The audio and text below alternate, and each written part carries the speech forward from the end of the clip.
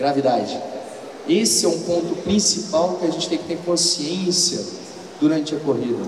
Gravidade. Gravidade nada mais é do que essa força né, que é exercida sobre a gente durante todos os momentos da nossa vida, vai ser exercida, no qual uma força que pode te jogar para frente, pode te jogar para trás, mas principalmente ela está te jogando para baixo o tempo inteiro. Então, a depender de como você está postado, como está a sua postura, esse movimento pode me levar para frente, ou esse movimento pode me levar para trás. Se eu tenho um mau hábito de ter meu peito estufado, de jogar o meu peso do meu corpo para trás, de jogar o peso do meu corpo no meu calcanhar, a tendência para o que eu tenho que correr é eu ter que fazer muito mais força porque eu ainda tenho que passar pela força da gravidade que está me puxando para trás, sendo que eu quero ir para lá.